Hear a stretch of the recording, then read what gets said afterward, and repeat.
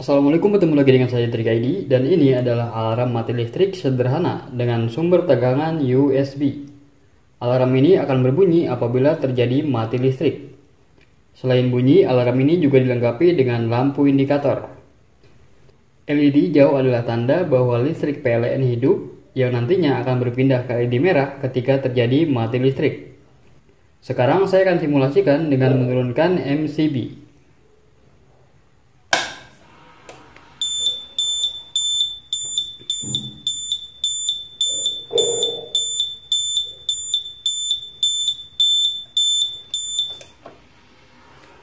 Setelah menonton video ini, jangan lupa memberikan ulasan di kolom komentar. Karena komentar teman-teman adalah energi untuk saya dalam membuat video-video baru.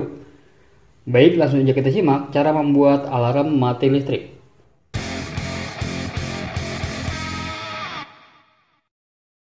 Dan ini adalah bahan-bahan yang perlu disiapkan untuk membuat alarm mati listrik. Komponen utama pada proyek ini adalah rangkaian buzzer dari IC NE555 yang sudah kita buat pada video sebelumnya. Yang mana saat rangkaian terhubung ke sumber tegangan, buzzer akan berbunyi beep berulang-ulang.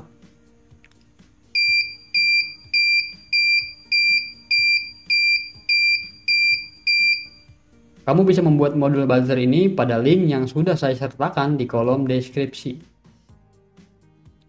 Komponen kedua adalah sebuah relay dengan tipe HRS-4H. Relay ini mempunyai 5 kaki atau 5 pin yang beroperasi pada tegangan 5 volt. Yang ketiga adalah dua buah LED merah dan hijau yang sudah diberikan resistor dengan nilai 330 ohm. LED ini digunakan sebagai lampu indikator. Dan proyek ini menggunakan dua sumber tegangan, yang pertama adalah menggunakan charger HP dan yang kedua menggunakan baterai dengan tipe 18650. Kali ini baterai yang saya gunakan adalah baterai bekas power bank. Jika semua bahan sudah siap, langsung saja kita eksekusi.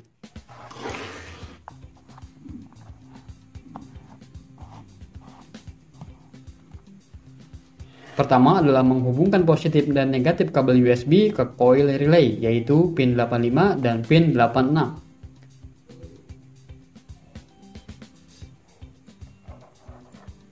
Selanjutnya, menghubungkan LED hijau pada pin yang sama. Pastikan polaritas LED sesuai, yaitu anoda ke positif USB dan katoda ke negatif USB.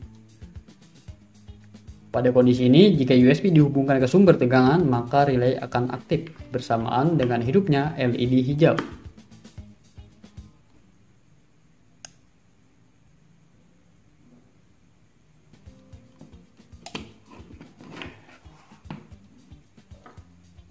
Selanjutnya, hubungkan kutub positif baterai ke pin COM relay.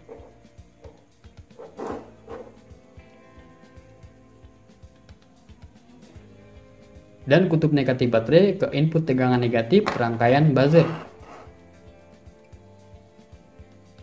Kemudian hubungkan input tegangan positif rangkaian buzzer ke pin NC relay. Pada kondisi ini rangkaian buzzer akan aktif.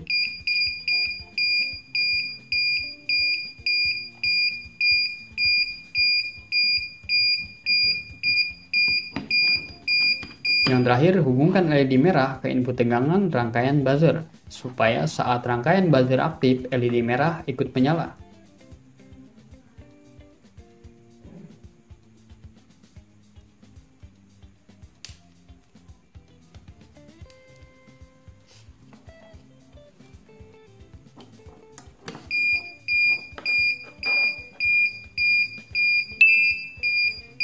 Wiring rangkaian alarm mati listrik sudah selesai. Sekarang mari kita kemas pada box elektronik yang berukuran 3x4 inci.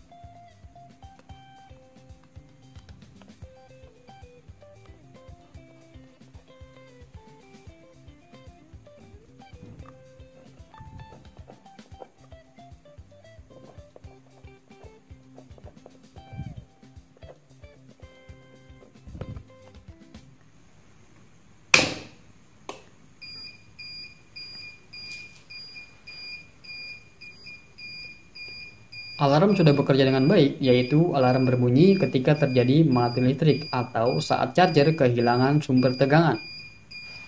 Jika dirasa bunyi buzzer ini kurang keras, kamu bisa menggunakan buzzer yang lebih besar. Dan posisi buzzer bisa diletakkan di luar box.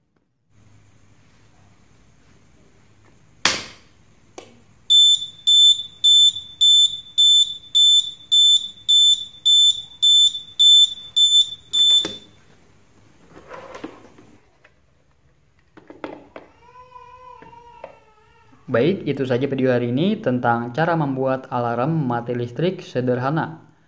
Jika memungkinkan, di video selanjutnya saya akan menjelaskan prinsip dan cara kerja rangkaian ini. Jadi, jangan lupa nyalakan lonceng untuk mendapatkan notifikasi. Semoga bermanfaat. Sampai jumpa di tutorial berikutnya. Terima kasih. Assalamualaikum.